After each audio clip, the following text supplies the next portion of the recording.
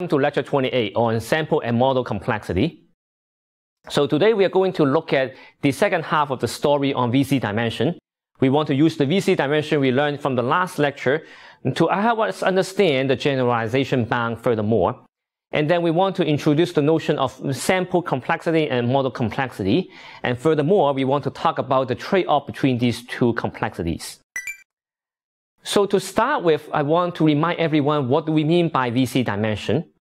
A VC dimension is a measure of how complex or how expressive is your hypothesis set.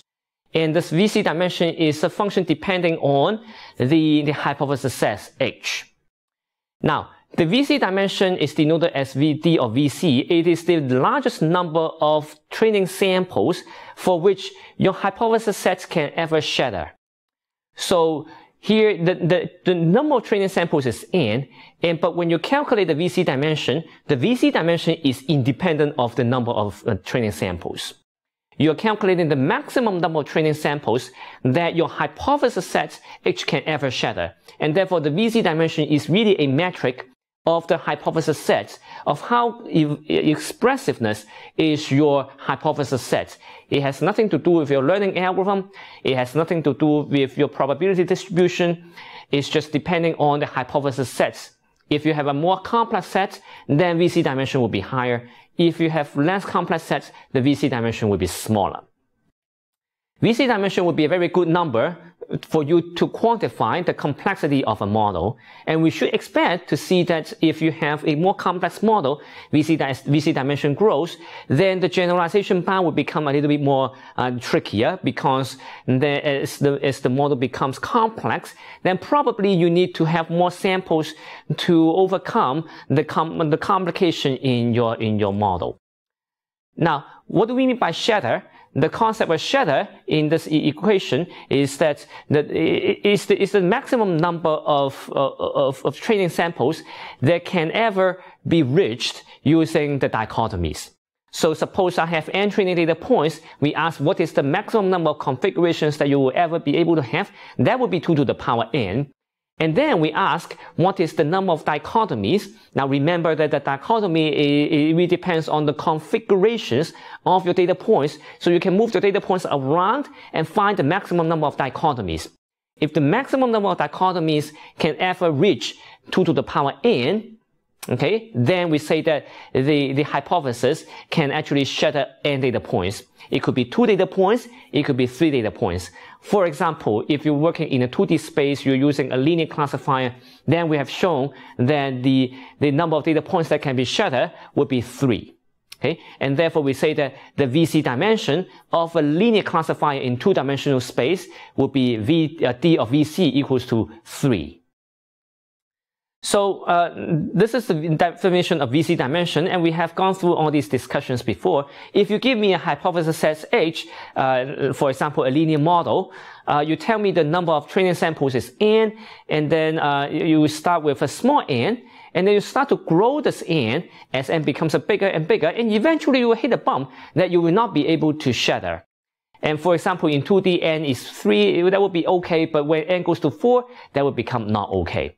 So I have found the largest n such that my, my, my hypothesis set can shatter the training samples. Uh, for example, in 2D, the VC dimension is 3, as I have described.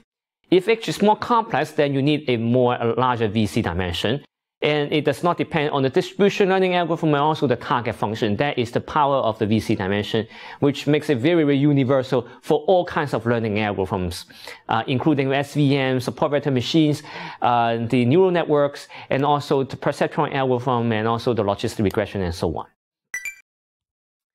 So now, in, in, today's lecture, we want to try to link the VC dimension to the growth function. And by doing this, uh, we will be also able to try to put this notion of the VC dimension into uh, uh, our generalization bound, and then we can draw some interpretations from that. So to start with, I want to point you to this theorem. It's called the Sauer lemma. The Sauer lemma says that the growth function, this n, uh, the m, mh of n, is the upper bounded by the summation of this uh, combinatorial uh, uh, uh, uh, sums. Okay, so you have n, and choose i, and then you're summing the i's from zero to VC dimension to the VC dimension. Now, the proof of this result I'm skipping here, which you can find in the textbook called Learning from Data, that is in chapter 2.2. So you can find the proof over there. But what I want to do here is try to draw the connection from, as you can see that here you have the growth function, and then on the, on the, on the right hand side, you have this uh, equation. The interesting thing about this equation on the right hand side is that although it looks complicated, uh, that has to be a polynomial in terms of the, the, the, the, the VC dimension. So what you can show is the following you can show that the, uh, the summation of the, the combinatorial sum is upper bounded by n to the power uh, d of vc. Okay, so what you, why, how can we prove that? Well, you can prove by a very simple mathematical induction, and you can do it as your own exercise. Now, with this equation, what you can do is that then you can show that the growth function, okay, mh of n, it will be a what? It will be upper bounded by n to the power of d of vc plus 1. Okay, so now you can find the upper bound on the growth function, and that growth function applies to all kinds of um, uh, uh, all kinds of learning algorithms, and it's a function on the n. So now let's use this result and try to plug in into our uh, generalization bound and see if we can draw something meaningful. So before we do that, let's also take a quick look at the meaning of the, uh, the difference between the VC dimension and also the Hoeffding inequality. Uh, so here we are showing you the three diagrams. If you're only looking at one uh, inequality, then you're only looking at one set of data points. But if you're using a union bound, then you're assuming all these data points, they are, uh, they, they, they're located in this way. Uh, it's not the data point, it's the, actually the hypothesis set. Now, if you look at the, the VC bound, then the VC bound says that all these hypotheses, they are, they overlapping. So that is the difference. And that's why if you can show the, the growth number, and if you can draw the upper bound on the growth number, then hopefully we can reach not the union bound, but the VC bound, as what I'm going to show you next. Okay. So remember, this is the generalization bound which we have discussed before in the middle of this equation, you have, you have uh, E of G. Okay, so the E out of G, this is your testing error.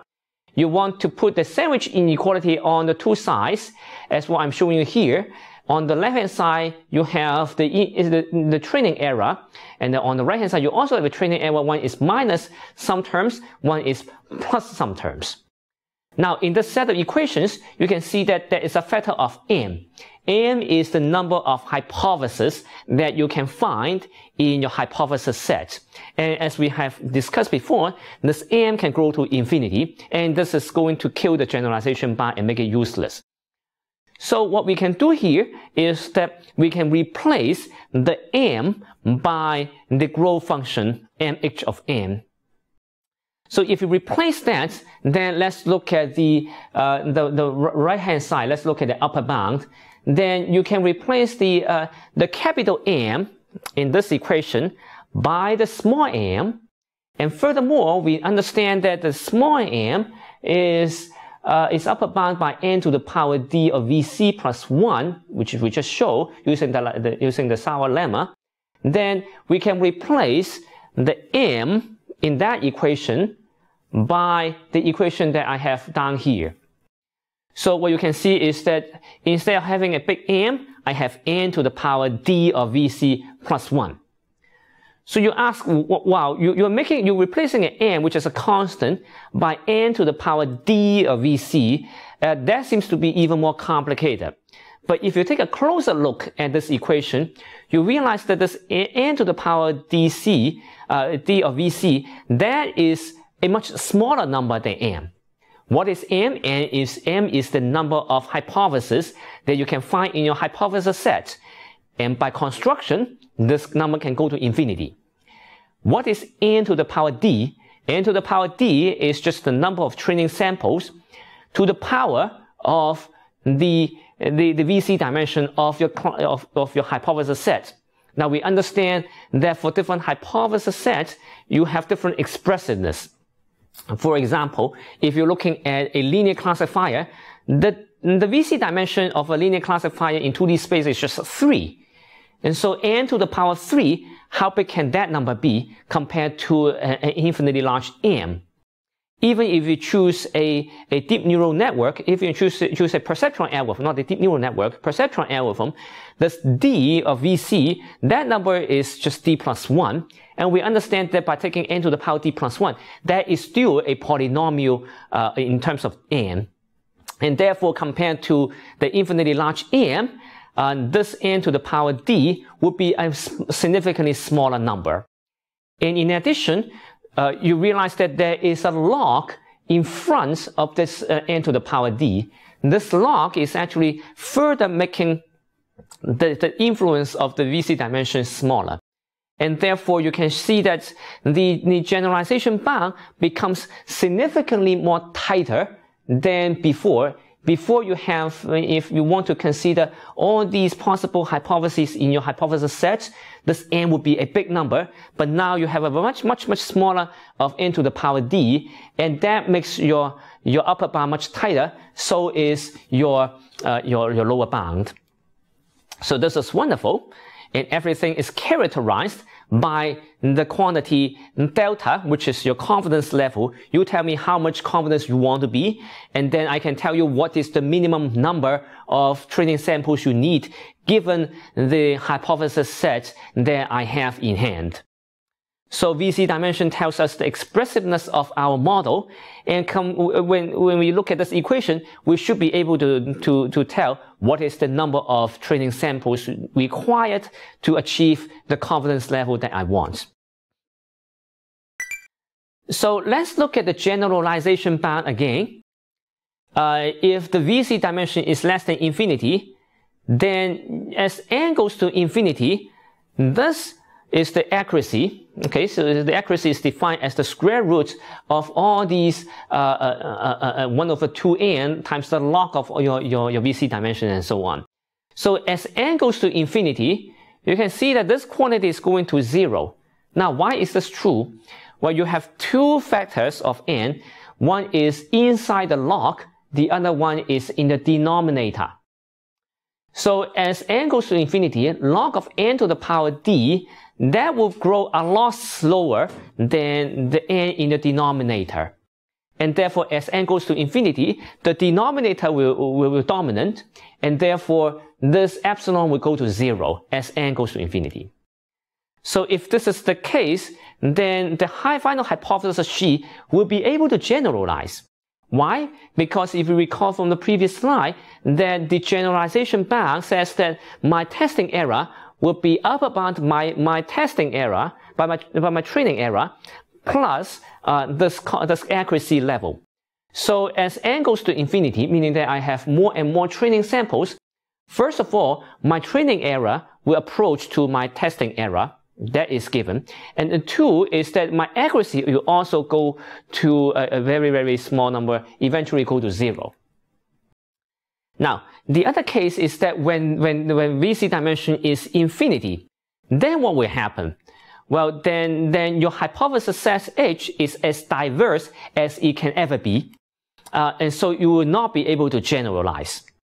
And so the message number one is that if you choose a very, very complex model, then you need to pay the price of training samples. Okay. In other words, if you're a really, really complex model, then this generalization bound says that yes, then you need to give me a lot of training samples in order to compensate for the complexity of your model.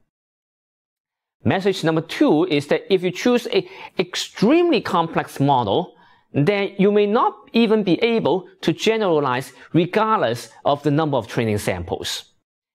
So uh, that tells you the two level of messages. One is that uh, if your model is complex but not too complex, then the number of training samples will help. Message two is that if your model is too complex, then even if you have infinitely many uh, training samples, that will not be able to help you solve the generalization problem. So let's summarize what we have discussed so far. Let's look, just look at the upper bound because the, the, the, the lower bound can be, can be written in the same way. So this is what we call the generalization bound or using the VC dimension. Uh, here, uh, we are replacing all the constants by a and 4 and 2n. This is just some technical uh, details that you can find in the textbook's appendix. So let's just put the, the, the am, uh, the growth function into this equation. And so um, I'm skipping the technical requirements here. And how tight can this uh, generalization be? Uh, this is uh, this is not very tight. So we'll come back to this point later. Okay. But if you look at this equation here, the the the uh, the testing error, this is e out of your final hypothesis compared to your e in.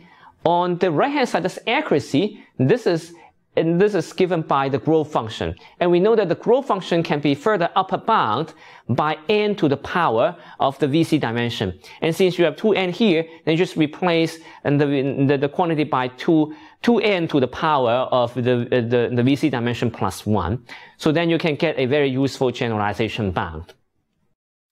Now, at this point, we can argue that this generalization bound is much, much better than what we have before using the, just the Hoeffding inequality.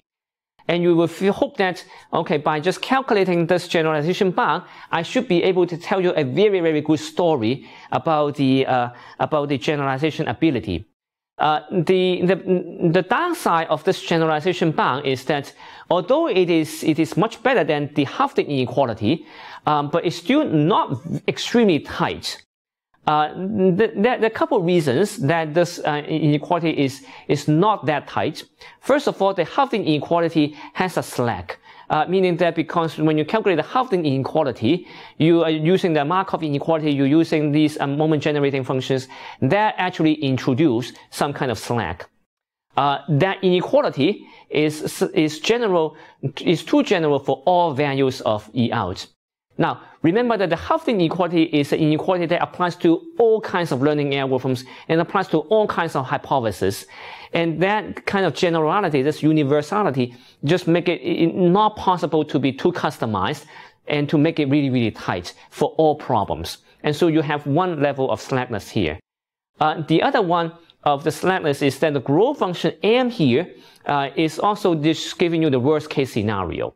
Okay, and typically you may not you may not require to reach all these uh, n possible situations, the, the the two to the power n uh, situations. Okay, so so now uh, this mh, this growth function is giving you the worst case scenario. You may not be able to reach that. Typically, you the average performance could be a lot less than the worst case, and therefore this is this upper bound becomes a, a more conservative way of estimating the error. Now, furthermore, um, the Sauer inequality that we we're given in the lemma before, this will also introduce some kind of slackness uh, because then we are we are we bounding the the growth function using a polynomial, and that bound will also cause some issue in terms of bounding the, the generalization.